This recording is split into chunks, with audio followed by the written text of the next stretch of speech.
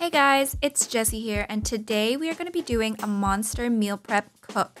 Whenever my schedule starts to get a little bit busy, I like to make sure that my kitchen is stocked with ready to eat foods that we can just pop into the oven or microwave. It saves me from ordering takeaway or crossing the street and getting a cheeky 20, I mean 6 piece nugget meal.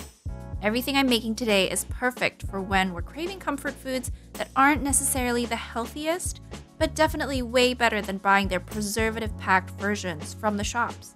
Plus, I get to sneak a lot more vegetables in this way. We're making lasagna, two kinds of Hot Pockets, and burritos. Sounds simple? It's not. It is. As long as you write everything out like me. This is our game plan. We're gonna cook everything in order of what takes the longest and needs to rest or cool, all the way to having a complete mise en place ready for the fun part. The assembly. First up is the Hot Pocket dough, then the bolognese, then the Hot Pocket fillings, then the burrito fillings, then the multi-purpose cheese sauce, and... You guys get the point. Sounds like a bit of a mad dash? Well, it is. This is Jessie from Head Over Meals, and let's get started. For our dough, we're gonna need milk, salt, yeast, baking powder, sugar, yogurt, and eggs. Into the warmed milk, add the sugar and the yeast and stir well to combine. Set this aside for now. Into the flour, add the baking powder and salt. Give it a good stir to combine while ignoring this momentary change of scenery. Forget it even happened. Add the eggs to the yogurt and make sure that your container is big enough to hold both before you begin. Learn from my mistakes. Now mix all of that until it's fully incorporated. After a few minutes, the yeast mixture should be fluffy and bubbly, which means that the yeast is alive and ready to give us really nice, fluffy dough. We're ready to add our wet ingredients into our dry, so make a well in the center of the flour and pour in both the yeast mixture and the yogurt and egg mixture. Start to stir everything together with a wooden spoon, incorporating more and more flour into the dough as you go. If you feel like the dough is a little bit on the dry side, feel free to add a splash of milk and continue incorporating everything together. And when the dough is shaggy and looking slightly more like a dough than just random pieces of flour, tip it out onto a clean surface and begin to knead it. You could technically do all of this in a stand mixer using a dough hook, but it's just so easy to do that I don't even think you should bother. Stretch and push it with the heels of your hands, picking up any bits that have fallen off and kneading it back into the mass.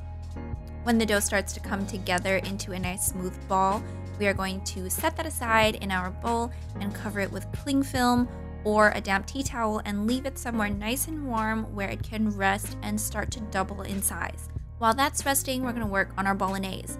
So over medium heat in a large pot, add a few tablespoons of oil, chopped onions, minced garlic, and saute this until it's soft and starting to brown around the edges. Then we're going to add our vegetables.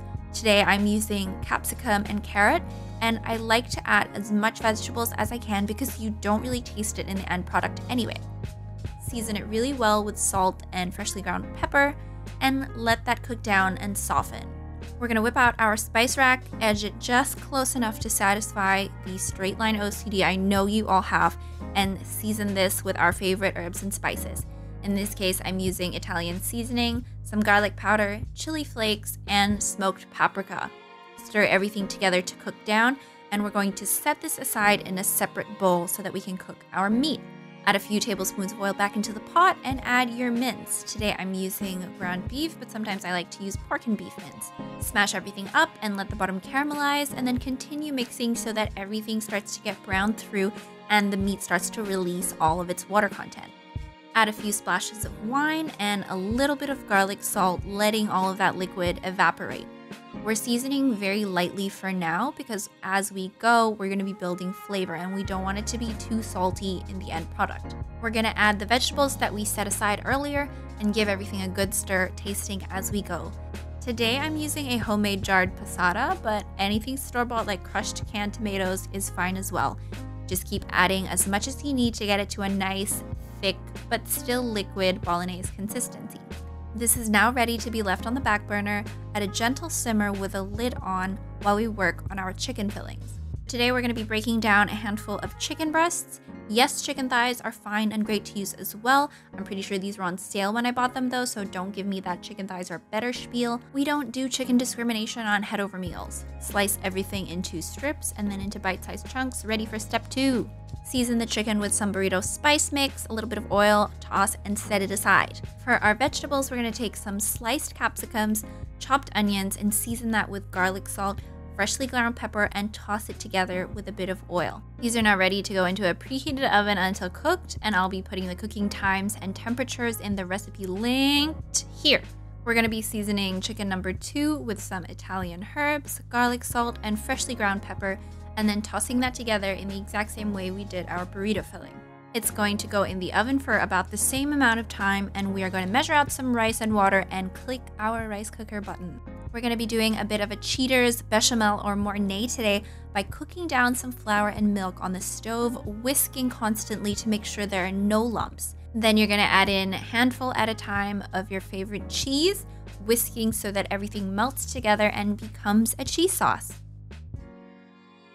Depending on what cheese you're using, you probably don't need to add any more salt, but season it with some freshly ground pepper for a bit of bite. By now, the bolognese should be ready and everything can come together to form our lasagna. In a parchment lined deep baking tray, we are going to start by layering some lasagna sheets that don't need to be pre cooked, our bolognese, and then our cheese sauce. And then we're going to repeat this until we hit the top of the tray.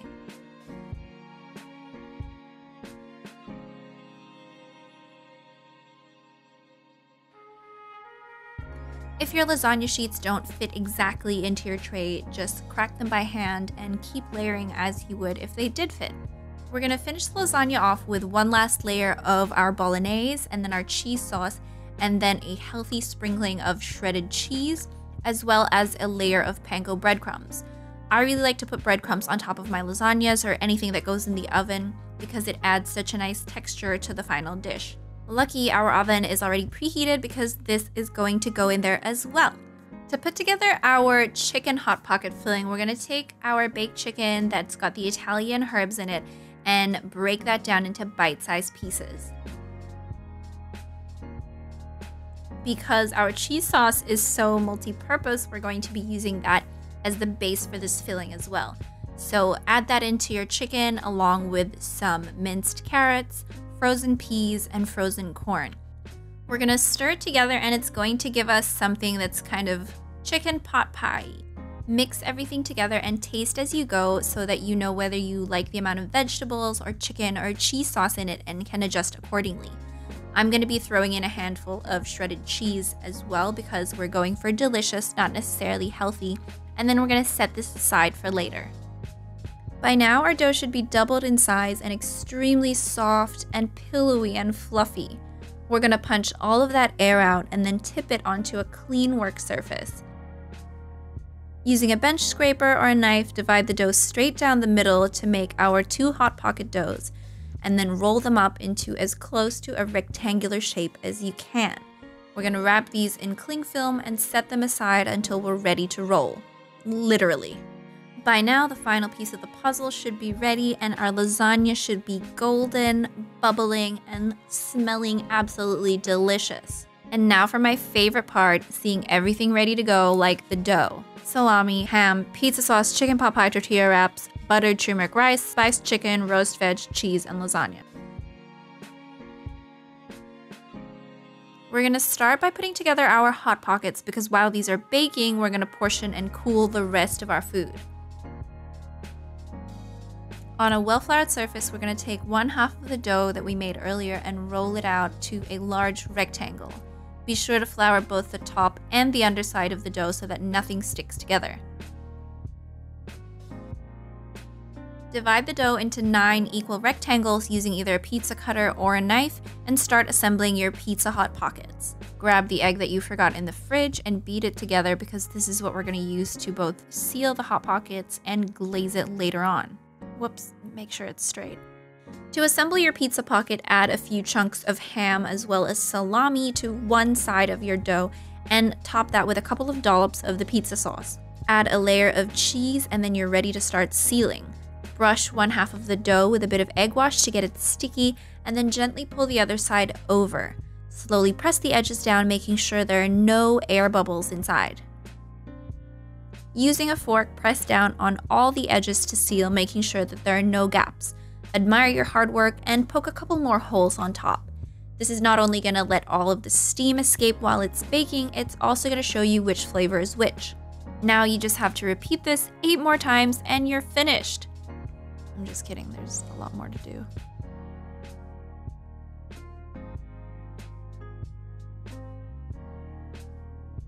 With our second half of dough, we're gonna do exactly the same thing, slicing it into nine. We're gonna put our chicken pot pie filling on one half of the dough, brush the edges with egg wash, pull the dough over, crimp the sides, and then do a different type of dotted pattern on top.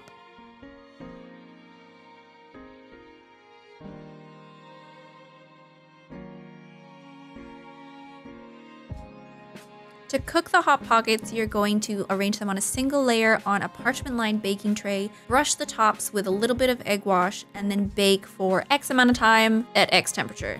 They should come out beautifully golden and smelling delicious. Don't freak out if any of the filling spills out, just set these aside to cool for now while we make our burritos. On a soft tortilla, we're going to layer our buttered turmeric rice, our spiced chicken chunks, and our roast capsicum and onions with a little bit of cheese on top. We're gonna spin this bad boy around so we can wrap it properly by tucking the edges in and rolling from towards you to outside you. You guys get what I mean, right? And voila, a perfectly inauthentic burrito that's delicious anyway. Repeat the process until you've finished one or more of the ingredients and take whatever's left, mix it together, eat it with a spoon. This is hard work. We deserve a snack.